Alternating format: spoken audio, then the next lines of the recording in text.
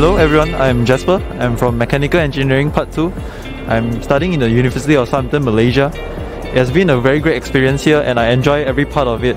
So the best thing about our campus is that it is a brand new campus and we offer a high, very high value education here. It's one of the best student experience you can ever expect from Malaysia.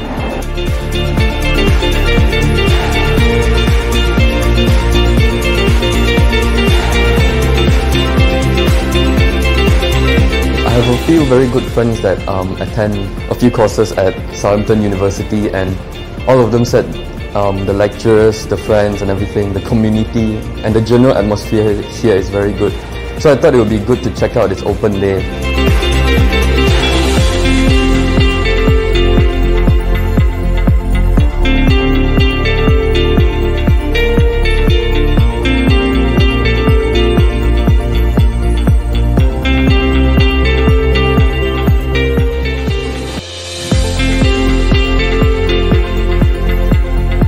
Open Day actually can give the parents and our prospects a real life experience on the state of the art equipments we have in this new campus.